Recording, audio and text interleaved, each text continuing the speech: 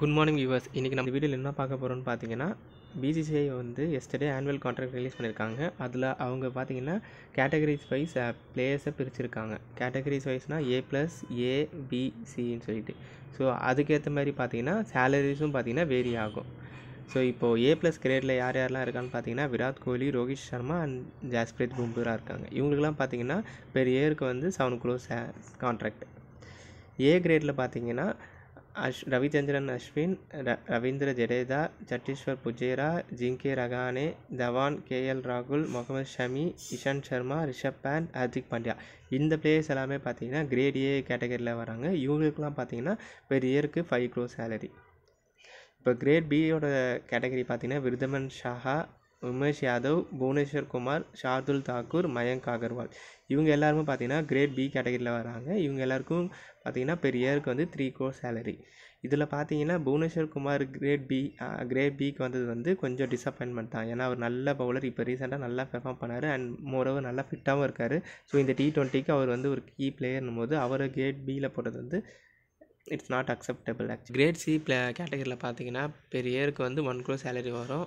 இதில் பார்த்தீங்கன்னா Kuldeep Yadav Navdeep Saini Deepak Chahar Shubman Gill Vihari Axar Patel ஷேஸ் Iyer Washington Sundar Yuzvendra Chahal and Mohammed Siraj. So இவங்க எல்லாருமே பார்த்தீங்கன்னா கிரேட் சி கேட்டகரியில் வருவாங்க. ஸோ இதில் பார்த்தீங்கன்னா கிரிக்கெட் ஃபேன்ஸ் யாருக்குமே எந்த டிசப்பாயின்மெண்ட்டும் கிடையாது. எல்லா பிளேயர்ஸும் இருக்காங்க. ஆனால் ஒரு பிளேயர் தவிர நடராஜனுக்கு நடராஜன் செலக்ட் ஆகலை. வாஷிங்டன் சுந்தர் செலக்டாக இருக்காரும்போது போது எல்லாரும் பார்த்தீங்கன்னா அதை வந்து ஒரு கான்ட்ரவர்சியாக பார்க்குறாங்க ஏன் நட்ராஜனுக்கு மட்டும் ஏன் சான்ஸ் கொடுக்கல? வாஷிங்டன் சுந்தருக்கு சான்ஸ் கொடுத்துருக்காங்க. இதில் வந்து நிறைய பாலிட்டிக்ஸ் நடக்குது. அவங்களோட ஆளுங்களுக்கு மட்டும்தான் சான்ஸ் தராங்க. அப்படி இப்படின்னு சொல்லிட்டு நிறைய பேர் மீம்ஸ் போடுறாங்க. நிறைய சோஷியல் மீடியாவில் நிறைய ட்ரெண்ட் ஆகுது. பட் நட்ராஜன் கிடைக்காது டிசப்பாயின்மெண்ட் தான். But according to BCCI rules என்ன சொல்லுதுன்னு பார்த்தீங்கன்னா பிசிசிஐ கான்ட்ராக்ட்ஸ் க்ரைட்டீரியா என்ன சொல்லுதுன்னு பார்த்தீங்கன்னா எந்த ஒரு பிளேயராக இருந்தாலுமே அவர் வந்து மூணு இன்டர்நேஷ்னல் டெஸ்ட் மேட்ச் ஆடி இருக்கணும் இல்லைனா அஞ்சுலேருந்து ஏழு இன்டர்நேஷ்னல் ஓடிஐ மேட்ச் ஆடி இருக்கணும் இல்லைனா மினிமம் பத்து இன்டர்நேஷ்னல் டி டுவெண்ட்டி மேட்சஸ் ஆடி இருக்கணும் அப்படி ஆடிருந்த பிளேயர்ஸ் மட்டும்தான் பிசிசிஐ கான்ட்ராக்ட்ஸ் க்ரைட்டீரியாக்குள்ளேயே வர முடியும். அவங்களுக்கு தான் வந்து கிரேட் வைஸ் அவங்க பிரிப்பாங்க.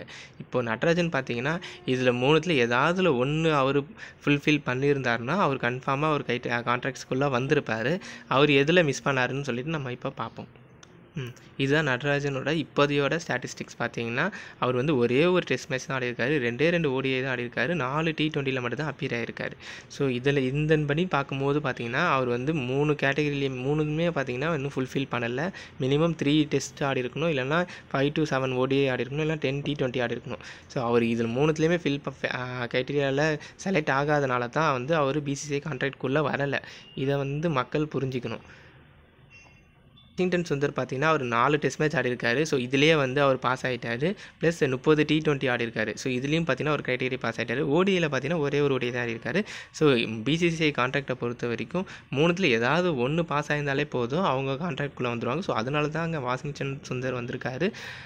நடராஜன் விடுபட்டு இருக்காரு. இதை வந்து எல்லோரும் புரிஞ்சு இதை வந்து எல்லோரும் புரிஞ்சுக்கிட்டு இப்போ பார்த்தீங்கன்னா நிறைய நியூஸ் சேனல்ஸ் பார்த்தீங்கன்னா இதை வந்து ஒரு பெரிய கான்ட்ரவர்சி ஆக்குறாங்க. வா லைக் நடராஜன் இடம்பெறவில்லை வாஷிங்டன் சுந்தர் இடம்பெற்று விட்டார் அப்படின்னு சொல்லி போட்டுட்டு இதை வந்து கிரிக்கெட் ஃபேன்ஸ் நீங்கள் வந்து யாரும் தப்பாக எடுத்துக்கக்கூடாது. இதை புரிஞ்சுக்கணும். தேங்க்யூ